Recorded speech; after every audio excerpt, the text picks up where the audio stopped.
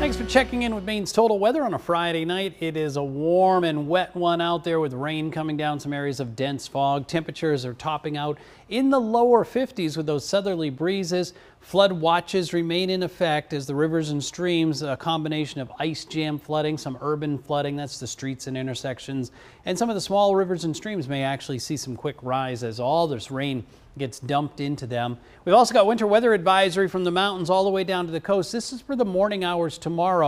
As colder air comes in, that rain's going to change over to freezing rain, sleet, and snow before coming to an end. But the good news is it looks as though the cold air may be delayed by just long enough so that although there will be some icing, I don't expect a major problem. Heaviest icing likely to be away from the coast. You can see here colder air is starting to creep itself in. So the heavy rain tonight and then the colder air seeps in. Daytime highs tomorrow never really exist. It just gets colder as the day continues. Good slug of rain around first thing in the morning.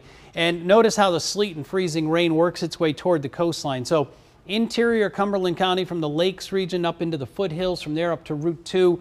That's where I think we're going to see some of the greatest sleet and icing problems Meanwhile, it's snow in the mountains where several inches may pile up, four to eight inches up along the international border.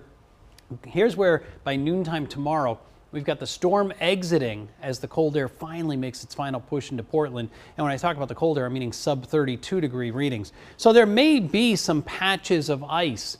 Not saying there won't be any, but maybe not as much as what we had thought a couple of days ago. Eight day forecast. Once the cold arrives, it looks as though it's here to stay. Daytime highs for Sunday and Monday only in the lower 20s.